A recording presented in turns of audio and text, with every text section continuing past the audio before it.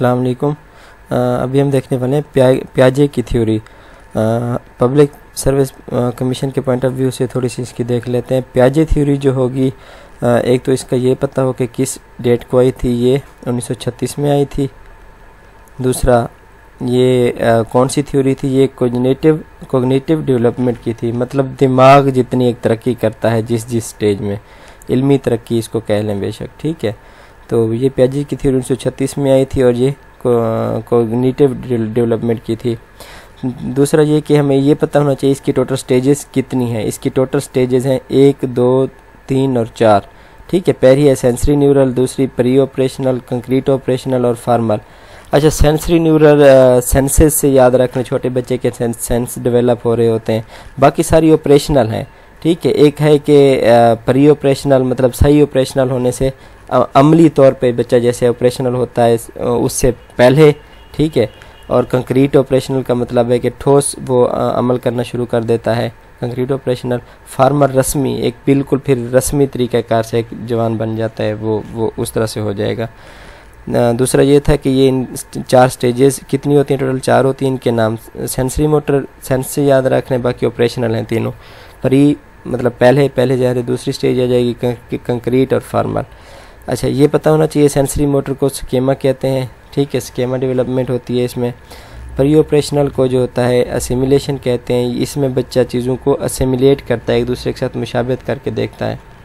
और concrete operational में accommodation हो रही होती है, बच्चा एडजस्ट कर रहा होता है माहौल के मुताबिक। और फार्मर ऑपरेशन में इक्विलिब्रेशन हो रही होती है। मतलब इक्विलिब्रेशन वो फिर ज़माने के मुताबिक इक्विलिब्रियम करके चल रहा होता है चीज़ों को। इसमें बर्थ जेयर जो याद रखने वो ये है कि पहला तो सेंसरी मोटर छोटा बच्चा जितने साल दूध पीता है वो उसकी सेंसरी मीटर होती है। मतलब दो साल दूध पीता है वो सेंसरी मोटर स्टेज होगी उसकी। बाकी दोनों में पाँच पाँच का डिफरेंस है। दो से पाँच जमा करें सात, ठीक है टू टू सेवन और तीसरी में कह लें सेवन टू ट्वेल्व या इसको सेवन टू अलेवन भी लिखते होते हैं।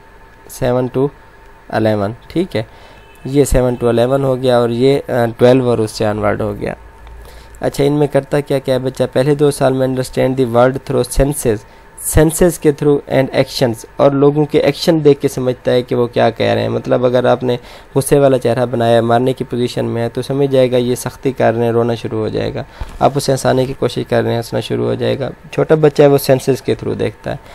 और टू टू सेवन ईयर जो होती है प्री ऑपरेशनल इसमें अंडरस्टैंड वर्क थ्रू लैंग्वेज दो से सात साल में बच्चे की लैंग्वेज डेवलप हो जाती है, वो समझना शुरू हो जाता है चीज़ों को।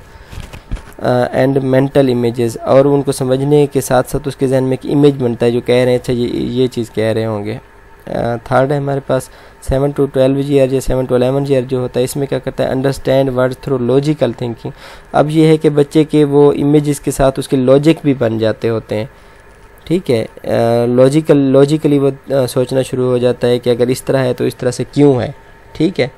तो इसको हम कंक्रीट ऑपरेशनल कहते हैं। फार्मर ऑपरेशन में 12 साल से बच्चा जब आनवर्ड जाता है, बड़ा हो जाता है, वो समझदार हो जाता है। फिर understand words through hypothetical thinking and scientific reasoning उसको फिर हर चीज़ की रीज़न भी पता होती है।